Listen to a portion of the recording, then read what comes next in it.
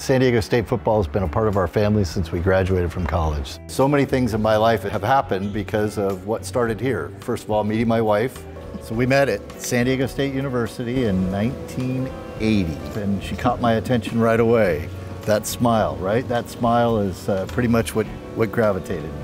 I think as we have grown together and really are feel very blessed to have the life that we do. We have a daughter, Katie, who's 26, and a son, Brandon, who's 29, and they both live in Austin, Texas right now. I'm very thankful for Mike for all of his support in my endeavors, and it's a great team that we have together.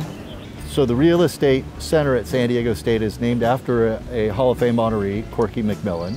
His son Mark and I were on the board together. It's fun to connect to the students and give something back that's a real world industry experience. We're here in the engineering and interdisciplinary building where entrepreneurialism is the centerpiece of what San Diego State's doing. And if you think about our business in real estate or any other business, it starts with that individual idea of how to build a company and build a product.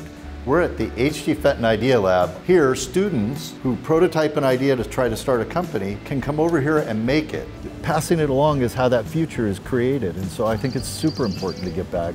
So the H.G. Fenton Company owns and manages apartment buildings and industrial buildings throughout the county. Some of them we built, some of them we bought. For the ones we build, each individual project is its own experience. We envision what the customer will experience today. You're standing on the rooftop of AMO, which is a 28 unit apartment building with two retail spaces. And on the north side is a 97 unit apartment building with three restaurant spaces. And when we bought it, the Little Italy community came to us and said, would you build a European style public piazza for us? And we thought, what a unique opportunity. The first of its kind in downtown San Diego. Truly a wonderful public place. To put this project together, of course, takes a big team. But I'm an Irishman, right? Michael Patrick Neal, and this is an Italian community. So we hired a gentleman by the name of John Larea, good Italian man, and John actually worked hand in hand with the community to bring the piazza piece to life in all the planning and working with the community. Carol Whaler, who runs our residential division, had a hand in all of the interior design and layout of the units. It's really a fantastic team of people that bring something like this to life. I met Mike Neal about 19 years ago. H.G. Fenton was performing a due diligence on a property in Carlsbad called Seagate, and I tagged along as part of the uh, due diligence team and was able to meet him there. Well, to be very candid, I begged Mike to hire me.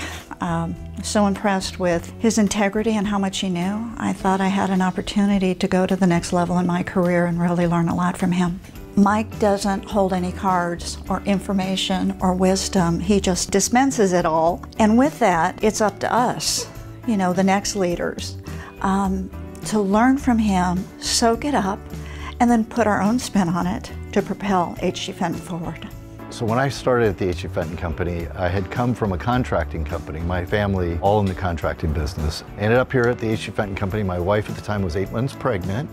My first day, we, I went down to the Otay River Valley where we were kicking people out who were melting batteries to get the lead out. And I went home to my wife and said, I think I made a huge mistake. this isn't what I wanted to do. And she said, well, I'm very pregnant, you figure it out.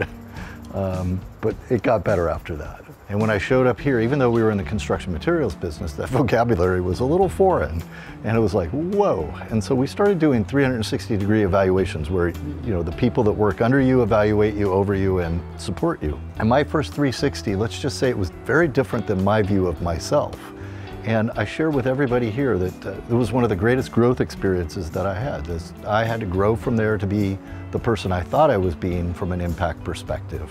What I discovered along the way is helping people build their careers was something that I got great, great satisfaction out of. I show up here today because we get to build people's careers, they get to flourish, um, and we've created something very unique. And I want to ensure that I'm a part of that continuing.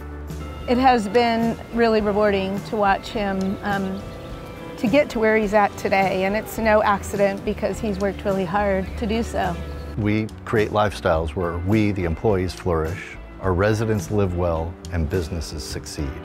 And we live that every day through our values and how we interact and do everything we do. And it's easy to say that as the CEO of the company. What's really powerful is when our customers tell us those words, when our employees share that that's their experience with us, and when our residents share that it's very different living with us, and they get to feel like they get to live well. It's, that's when it really matters.